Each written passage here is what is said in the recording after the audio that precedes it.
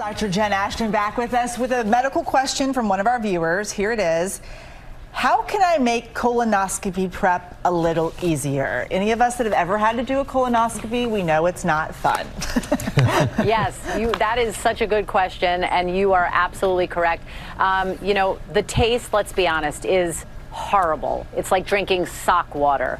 Um, there's not that much you can do about that because you have to get that prep. There are a lot of different types of preps. Different gastroenterologists will recommend, you know, their own kind of regimen, but here are my tips that are so, so helpful and just require a little bit of planning.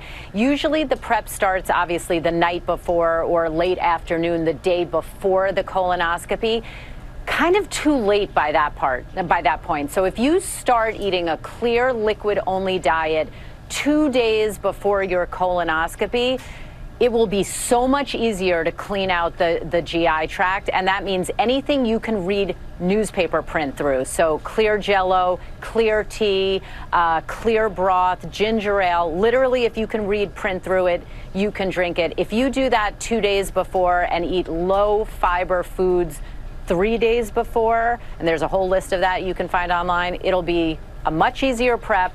Your GI tract will be clean, your gastroenterologist will thank you, and you might be a couple of pounds lighter. That's good advice. I have to get one in November. Right? What's your prescription for wellness?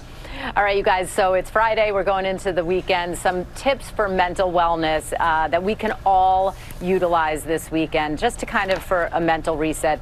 Try to unplug from social media. I am on the brink from completely unplugging permanently, but just diminish your time on social media. That will absolutely help you.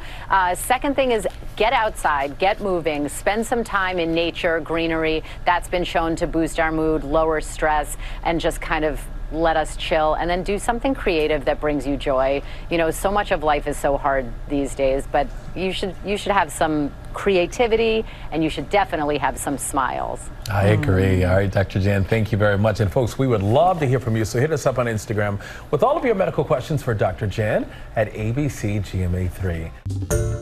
Hey there, GMA fans. Robin Roberts here. Thanks for checking out our YouTube channel. Lots of great stuff here. So go on, click the subscribe button right over, right over here to get more of awesome videos and content from GMA every day, anytime.